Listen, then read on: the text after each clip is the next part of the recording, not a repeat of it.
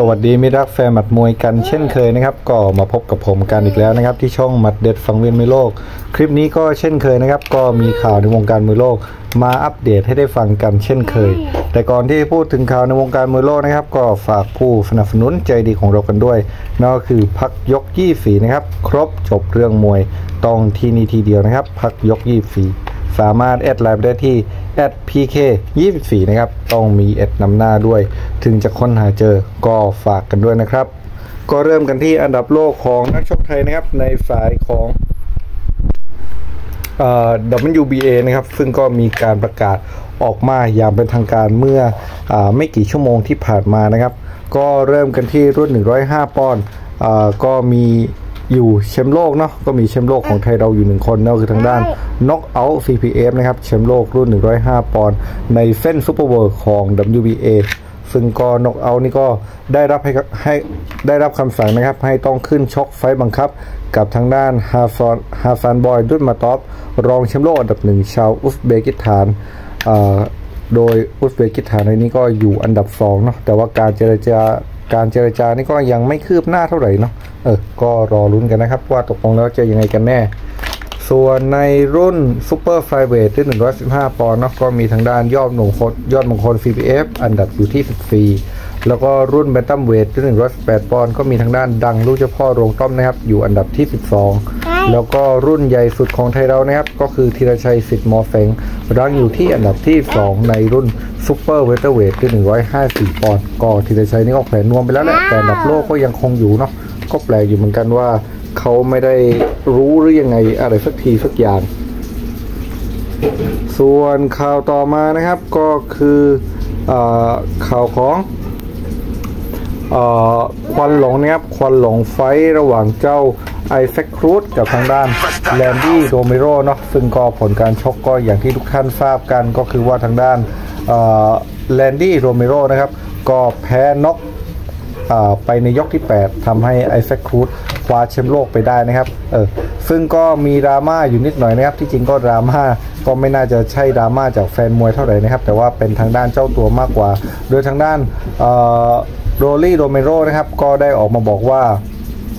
เขาคิดว่ากรรมการจับไวไปนะครับ โดยเขาบอกว่าฉันไม่เข้าใจว่าทำไมกรรมการถึงหยุดการชกไว ฉันยังสามารถเอาชนะการต่อสู้กับพิทบูลครูซได้อยู่ ฉันว่ามันเป็นความอยุติธรรม เออ ก็ทางด้าน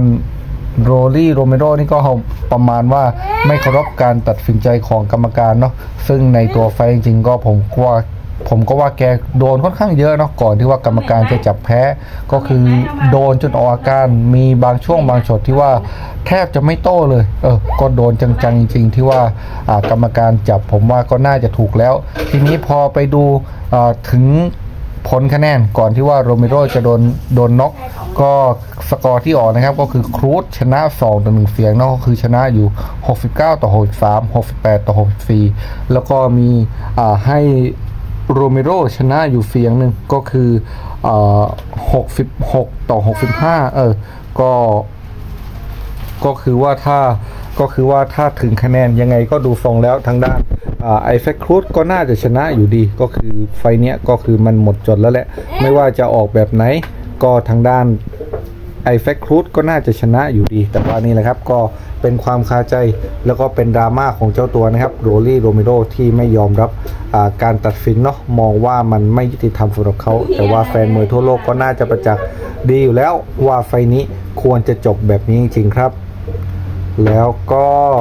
มากันที่ข่าวปิดท้ายนะครับ ก็คือคู่ของเอ้ยไม่ใช่คู่ของ ก็มีกระแสข่าวนะครับว่าว่าอยากจะให้คู่นี้ได้เจอกันอีกสักครั้งนั่นก็คือคู่ของ อวันต้าเดวิดกับทางด้านไอเฟคครูดนะครับแชมป์โลกใหม่ป้ายแดงของเรา ก็เจวันต้าเดวิสนี่ก็เคยเจอกับทางด้านไอแซคครูซเมื่อเมื่อตอนเออเมื่อตอนที่ว่าไอแซคครูซขึ้นชิงแชมป์โลกในรุ่น lightweight ที่135ปอนด์ในเส้นของ WBA นี่เลยครับ ซึ่งตอนนั้นก็อืมผมไม่แน่ใจว่าตอนไหนแล้วเนาะแต่ว่าตอนนั้นก็ถึงคะแนนแล้วก็เป็นทางด้านเจวันต้าเดวิสที่สามารถเอาชนะคะแนนไปได้ แบบมีดราม่าเล็ก ๆ เหมือนกันว่าอ่าทางด้านไอแซคครูซน่าจะน่าที่ว่าจะเป็นผู้ชนะเอออะไรประมาณนี้ ซึ่งก็อ่าอยากจะให้มีการ rematch กันของคู่นี้เนาะในตอนนั้น ซึ่งตอนนี้นะครับกระแสนี้ก็กลับมาอีกครั้งแล้ว เพราะว่าหลังจากที่ทางด้านไอแซคครูซสามารถที่ว่าจะเอาชนะนกโรลี่โรเมโรไปได้ใน ยกที่ 8 เออ ได้แชมป์โลกในรุ่น 104 ปอนด์ของ WBA ก็มีกระแสข่าวอยากจะให้ทั้งคู่ได้รีแมตช์กันอีกครั้งเนาะไม่ว่าจะเอ่อโดยจะให้ทางด้านเจวันตาเดวิดปีนเวทขึ้นมาบ้าง เออ ปีนเวทขึ้นมาบ้าง หรือว่าไอแฟครูซจะลดเวทลงไปเจอกับทางด้านเจวันตาเดวิดก็ก็ได้ทั้งนั้น ซึ่งคู่นี้ก็น่าสนใจนะครับ เพราะว่าสรีระสรีระร่างกายก็เจวันตาเดวิดไม่ได้ตัวเล็ก กว่าไอแฟครูซเลย ออกจะตัวใหญ่กว่าซะด้วยซ้ำเออซึ่งถ้าคู่นี้ได้เจอกันจริง เป็นการ rematch ภาค 2 ก็ถือว่าน่าสนใจมากๆ เพราะว่าทั้งคู่ก็มีฟอร์มที่ยอดเยี่ยมด้วยกันทั้งคู่ โดยเจวันต้าเดวิส fight ล่าสุดก็ เดี๋ยวนะ ตอนนั้นก็ชนะนกเลยเออถ้าผมจำไม่ผิด ก็ถ้าส่วนไอแซคครูซก็เนี่ยครับ fight ล่าสุดเมื่อวันอาทิตย์ที่ผ่านมาก็สามารถเอาชนะโรลี่โรเมโรไปได้ในยกที่ในยกที่ 8 ก็ถือว่าเป็นฟอร์มที่ยอดเยี่ยมด้วยกันทั้งคู่เนาะก็ถ้าเจอกันภาค2จริงก็เป็นคู่ที่น่าสนใจมากๆครับ